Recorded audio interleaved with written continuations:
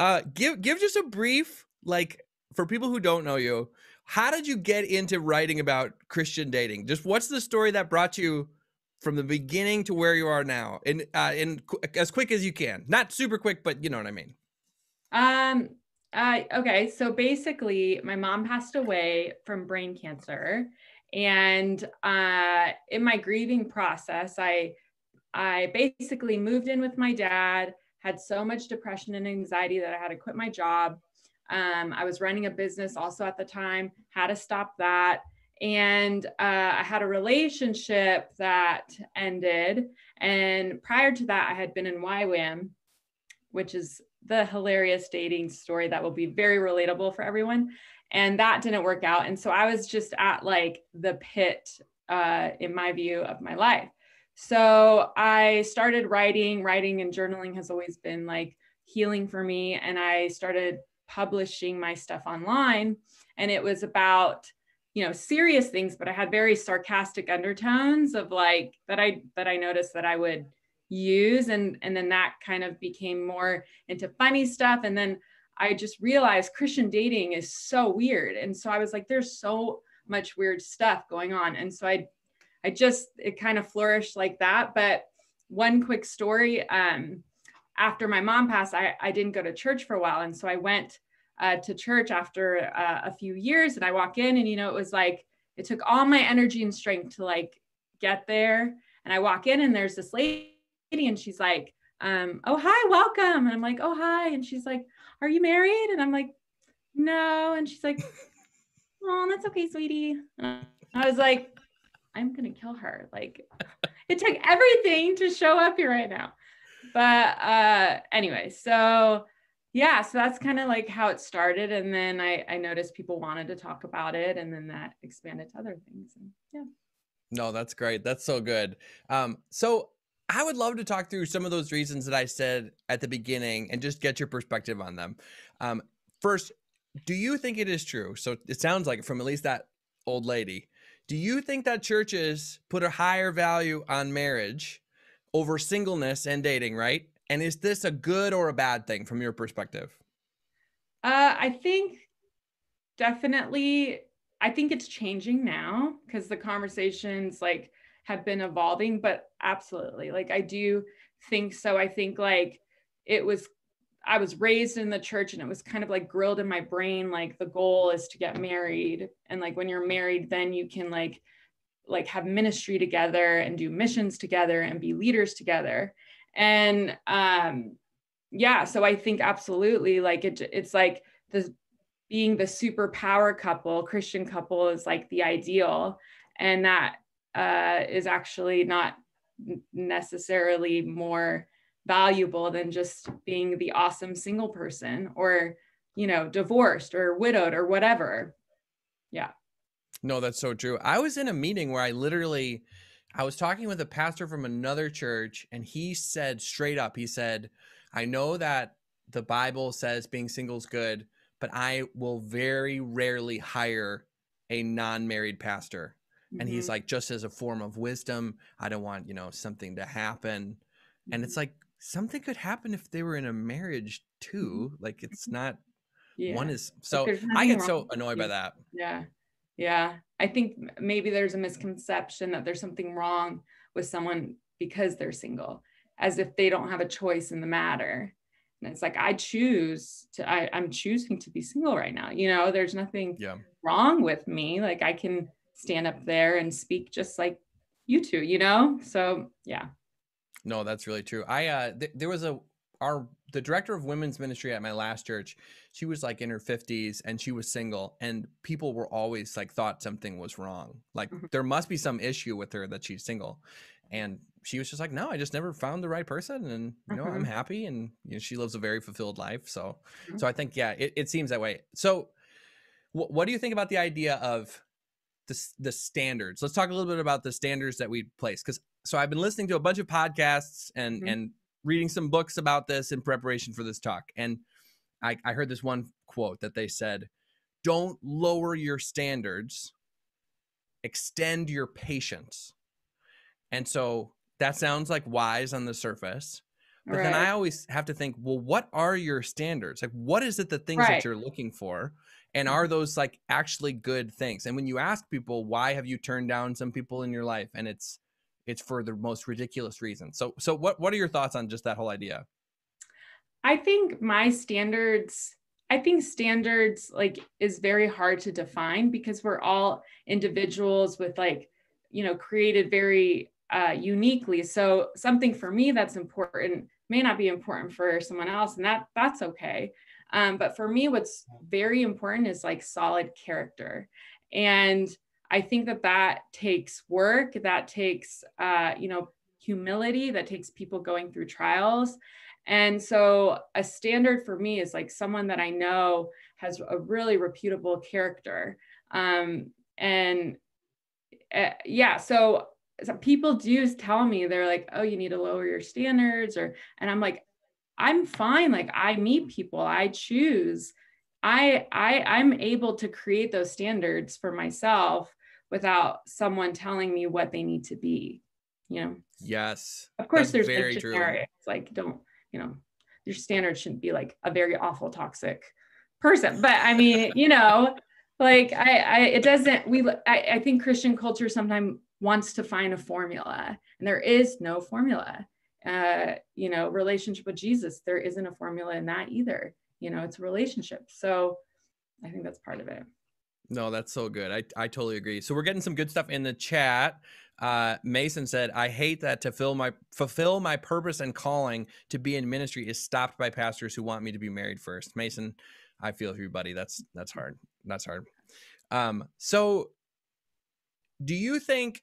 Have you seen any churches that equip their people well for dating, or have in my estimation, most of the churches I've been a part of have not done a great job, other than giving those kind of three rules that I said. Right? Don't date a non-Christian be intentional and don't have sex before you're married. And outside of that, it's like, well, how do you have a good relationship? Have you had churches that have given good advice and, and like good leading in that way?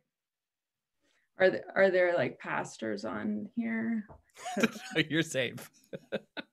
um, you know, when I really think about it, I don't, I don't think so. Like I, I have found very great advice like through solid couples I know I've met in church, even like um, outside of church. Like I have I have this couple who is just so solid and the and he loves and respects my friend so much, and she does him, and he uh, you know it, I learned a lot from watching them, and I think meeting people in church and outside like that's the best way like uh, to communicate and find out how a healthy relationship operates and functions and what's needed for marriage or like listening to a 65 year old couple. Like the old couples that are photoed like holding hands you're like tell me tell me about this you know?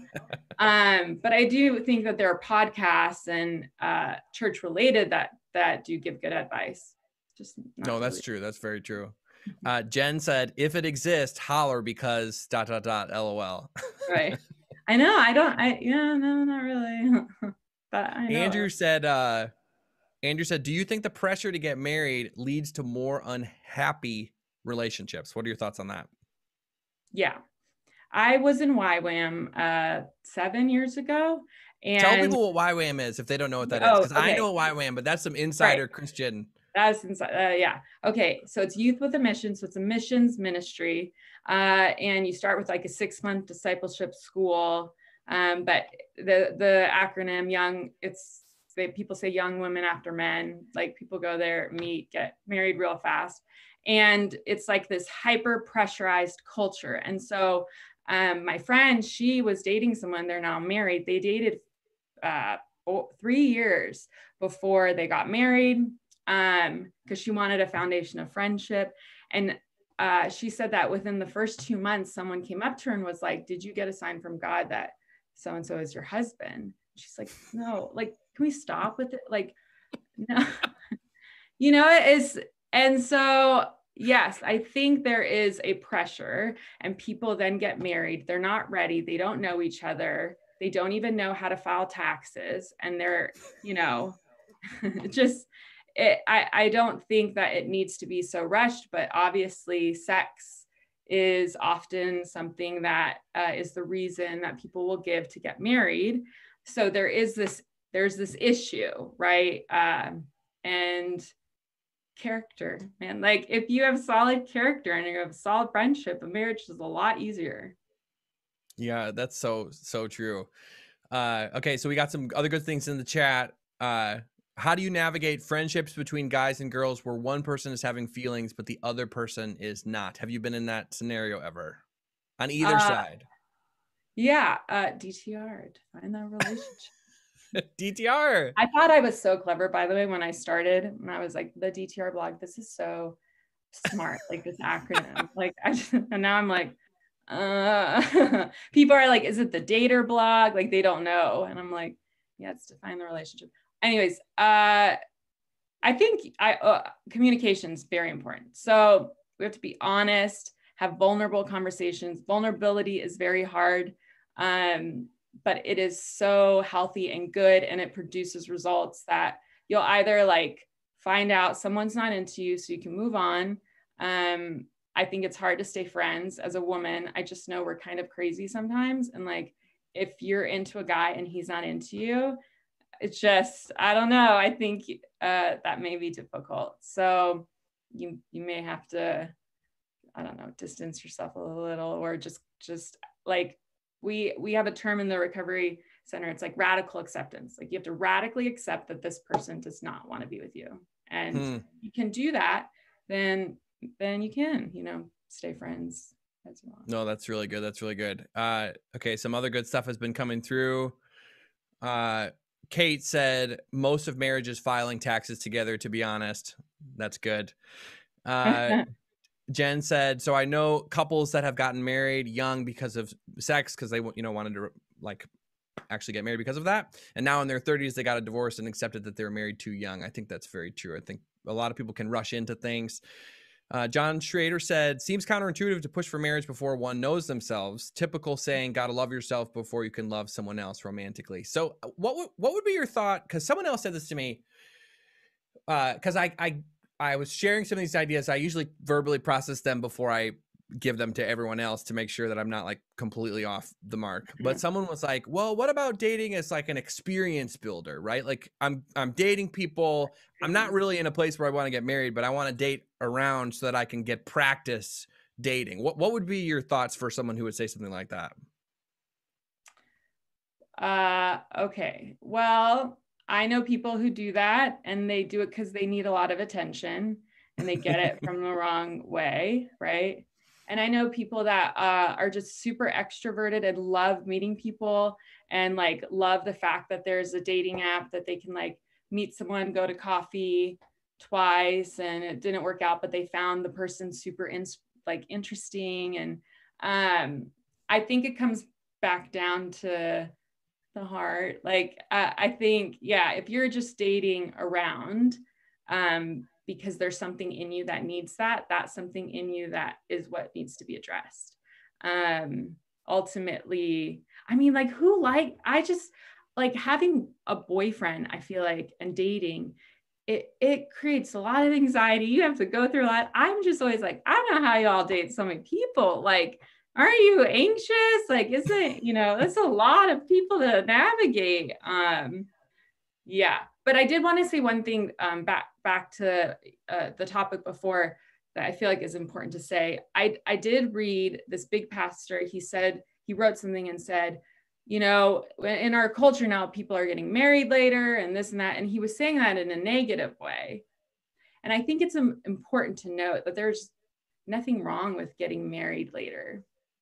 There isn't anything wrong with being 34 or later, whatever people determine that to be everyone's different. So yeah.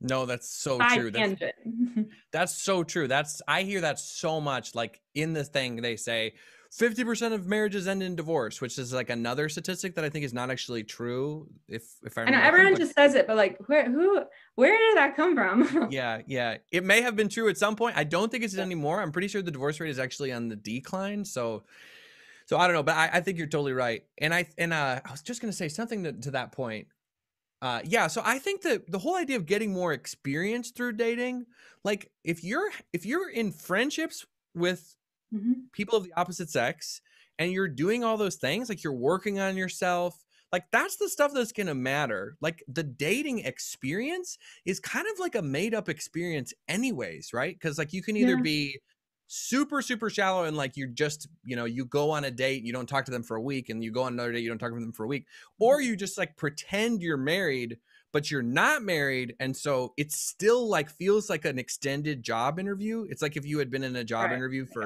yeah. Yeah, four yeah. years and it's like and then the, the the funny thing is that so many people do not understand like the the way that the dating relationship feels the moment that you get married, it completely changes gears. And there's like stats about this. a lot of people, a lot of my married friends say that they just felt a way like stable. I don't know, safe. Something changed. They do say like, yeah. I know a lot of people that do say that. Yeah.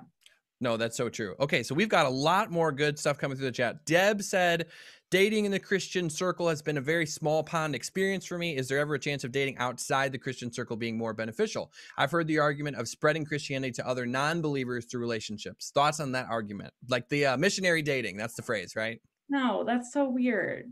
Like, the name is like, you just want to date him because he's hot and he's, you know, not Christian. Like, but and just admit it. Just it's not like, I'm trying to save him. Like, uh, uh. I made a joke. I was like, man, this last year, Christians, I don't know, we we didn't look that great this last year. So I was like, I'm wondering if anyone knows any like nice Jewish men, like, you know, do you, you know, maybe I'll, you know, just a nice kind Jew. Like, I, I think, uh, like you said, um, I don't think that it is a sin to date outside uh, of the Christian church. I just think that motives and um, like who the person is, and because there's a lot of pe- very unhealthy people, men and women within church, uh, so that you shouldn't marry, you know. Um, but yeah. No, that's really good. That's really good. Uh, let's see what else any other questions could coming through a lot of good chat going back and forth. Uh, too many pastors portray their marriages so perfect because god placed th- this person in their life. This creates such a dangerous narrative for anyone who is single over the age of 25 it makes you think that god is withholding something from you or you're not good enough or not ready to have a partner. Lots of self-guilt lots of doubting yourself even when you want to put yourself out there. Also there was someone who put in the chat earlier i think i lost it oh uh, do you think god has chosen the exact person you should marry, or do you think he gives us free will to determine that? What are your thoughts on that whole like the soulmate concept? Yeah, I think it's both.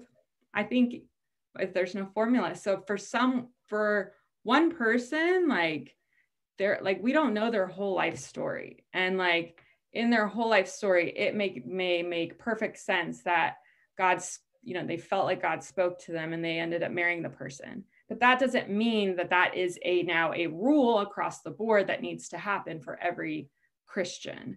Um, I think that it is a choice.